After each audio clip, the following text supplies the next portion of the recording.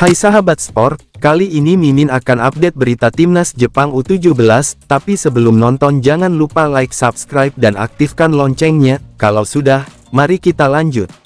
Akhirnya malu sendiri, pelatih Jepang U17 Yoshiro Moriyama sempat katakan si Jalak Harupat akan banjir, jika diguyur hujan.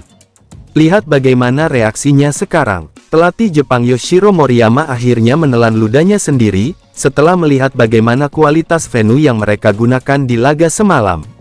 Dalam laga Jepang versus Polandia di Stadion Sijalak Harupat, anak asuhnya berhasil mengamankan poin penuh, usai membekuk Polandia dengan skor tipis 1-0.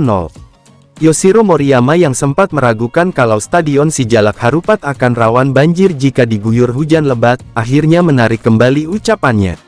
Di laga semalam adalah hal yang membuatnya langsung melihat bagaimana kualitas stadion tersebut.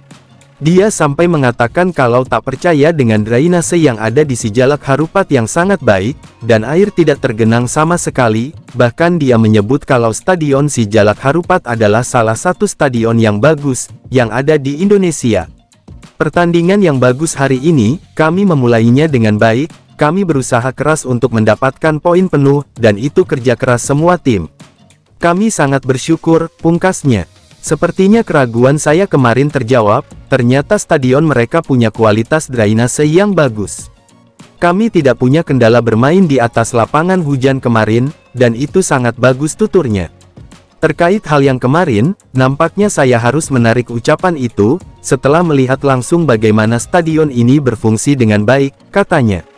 Mungkin bagi saya, stadion ini adalah salah satu stadion yang bagus yang berada di Indonesia saat ini, Tuturnya, pelatih Jepang Yoshiro Moriyama memang sempat menyampaikan hal yang sedikit membuat netizen kesal beberapa waktu lalu, namun dengan pertandingan semalam, dia akhirnya berubah pikiran.